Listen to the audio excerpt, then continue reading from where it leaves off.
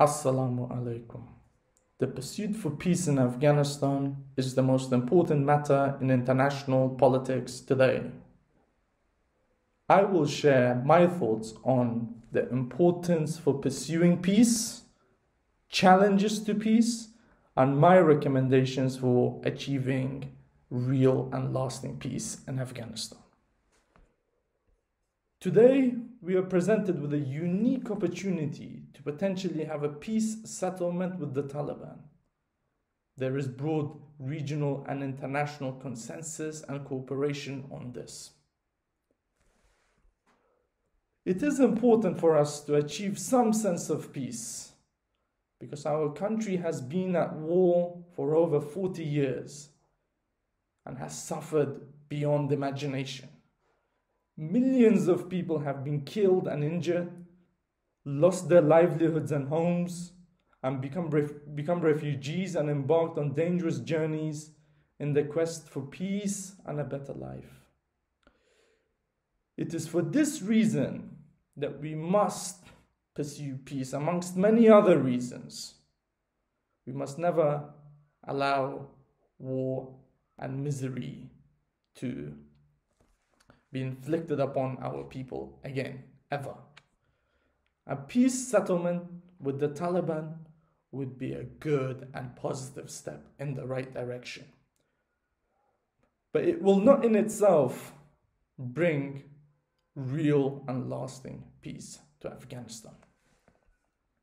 Indeed, we should be optimistic about the future and the outcome of the peace talks with the Taliban. But it but it is critical that expectations are managed because while it is a big step in the right direction, it will not in itself bring peace to Afghanistan. We face challenges, broader challenges of a regional and international nature.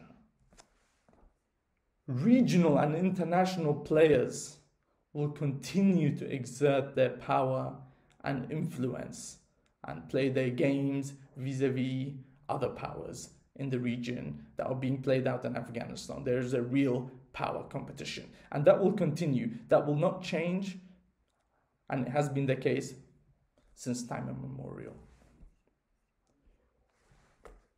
We Afghans must not let this happen.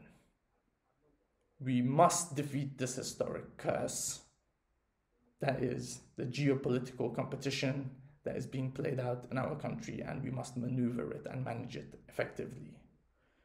Our geography does not need to be our destiny.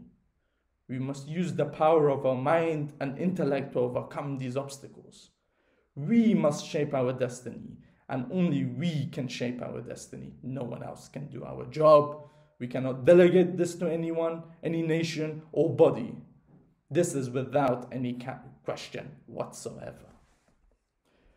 So you must be thinking, how do we control our destiny?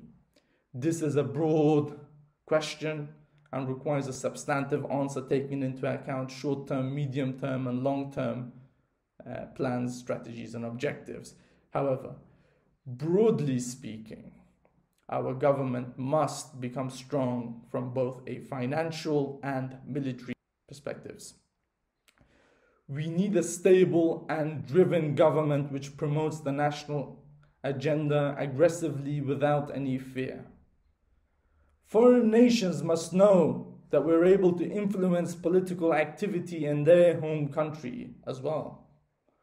I understand this is harder said than done, but we should be able to do it vis a vis our neighbors, who are not the most strongest countries in the world. There is no friendship in politics, it's all about national interest. This is a well known fact in political theory. We must move from a position of defense to offense. For instance, we face the greatest risk of terrorism in the world, and we're often victims of it on a daily basis. In these circumstances, we should be the world's leading experts in counterterrorism measures. We do not need sophisticated technology to achieve this. We face unique challenges that require bespoke policies And it requires us to use our intellect and ability to combat this menace that has held our country hostage for a very long time. This is unacceptable. We must develop ourselves and begin exerting our agency in the world. This can happen gradually, but we must work toward it more dynamically. Inefficiency is unacceptable. We should pursue everything from a position of strength and leverage. Weakness and sympathy will distance us from achieving lasting and sustainable peace. Peace can only be achieved through the efforts of our own hands. At the present moment, all sides must be sensible so we can, so we can try and reach a sensible political settlement with the Taliban.